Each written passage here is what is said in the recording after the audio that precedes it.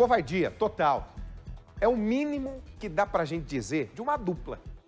Uma dupla de criminosos, de bandidos.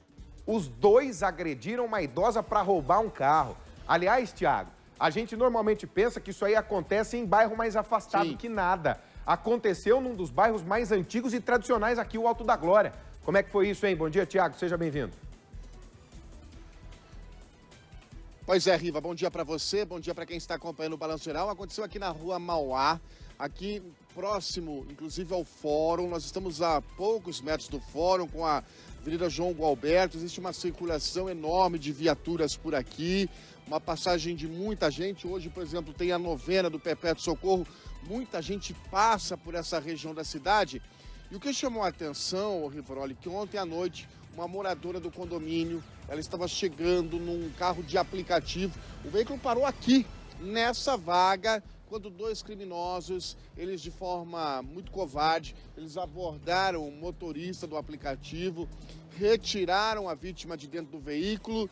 Uma senhora que estava eh, ocupando esse carro, ela ficou assustada, ela saiu pela lateral do carro e ela foi perseguida, empurrada, caiu, se machucou e no chão o criminoso, inclusive, ele acaba retirando a bolsa dessa vítima, como a gente tem as imagens que você acompanha no balanço geral desta quarta-feira.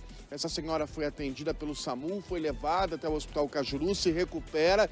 É uma família que veio do Rio de Janeiro. As imagens chamam a atenção. E lá no Rio de Janeiro eles não foram assaltados e vieram a ser assaltados aqui em Curitiba. Eu com a Isabela, que é filha da vítima. Isabela, como é que tá a sua mãe hoje? Bom dia. Bom dia. É, a minha mãe tá se recuperando. Agora ela recebeu alta do hospital hoje de manhã. Foi muito bem tratada é, lá no Hospital do Cajuru. E, mas agora ela estava se sentindo meio mal, então ela vai voltar para um hospital para receber algum tipo de tratamento. Ela tá machucada na região da cabeça, ela tem algum tipo de ferimento. Sim, ela. Como ela caiu e se machucou, foi, ela bateu a lombar e tá com os ferimentos na cabeça porque ela bateu aqui no petit pavê. Então tá com acho que quatro furinhos assim, mas nada que foi preciso fazer ponto porque os médicos falaram que ia acabar machucando mais do que fazendo efeitos.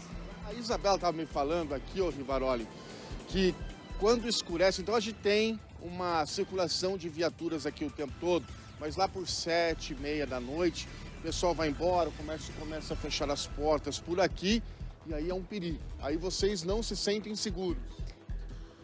Fica um pouco mais vazia a rua, né? Porque já é um momento que todo mundo tá em casa e os comércios estão fechados, então não tem muita gente na rua. Apesar de ser uma rua muito iluminada, tem alguns momentos que a gente se sente inseguro. Que vai ser daqui para frente? Porque aqui é o ponto de desembarque. Vocês descem aqui para entrar no condomínio. Fica essa questão, fica o trauma. Como é que vai ser hoje, amanhã? Então, é muito engraçado porque esse remanso, ele terminou de ser feito semana passada, até semana passada, semana retrasada, a gente reclamava por não conseguir parar o carro aqui. E agora a gente pode parar o carro aqui, mas não se sente seguro para parar. Então, eu não sei, eu acho que tipo vai ficar o trauma, vai vai ficar tudo isso, mas a vida continua, a gente vai ter que, né, continuar parando o Uber aqui e entrando para o nosso prédio. Então, o receio vai ficar e a expectativa de que isso não aconteça e que tenha um pouco mais de segurança também é forte, né? Isabela, boa sorte para sua mãe, boa recuperação. Obrigado por acompanhar o Balanço Geral. Essa é a história. O boletim de ocorrência foi registrado na Delegacia de Furtos e Roubos de Veículos. O carro, inclusive, o Rivaroli, nas imagens que você acompanha aqui no Balanço Geral, a gente observa que os dois criminosos que acabam pegando o veículo aqui, eles têm uma certa dificuldade até em arrancar com o carro.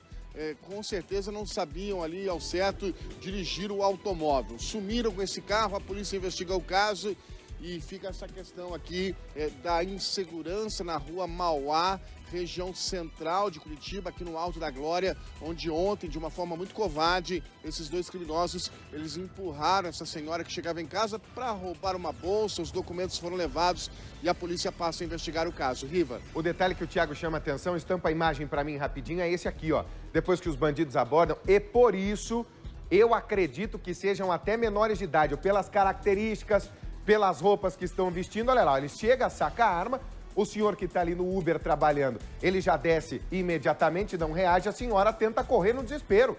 E é um direito dela fazer isso, pelo amor de Deus. O criminoso joga essa mulher no chão na maldade. Olha lá na hora de sair, ó.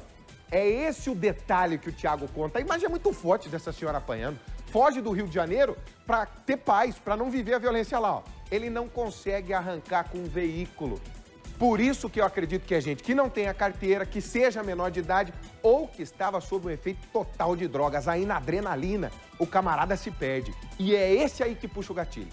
É esse que vai para cima da vítima, joga no chão ou puxa o gatilho, mata uma pessoa sem nenhum tipo de pudor. Tem que tirar da rua, tem que correr atrás. Alto da Glória, hein?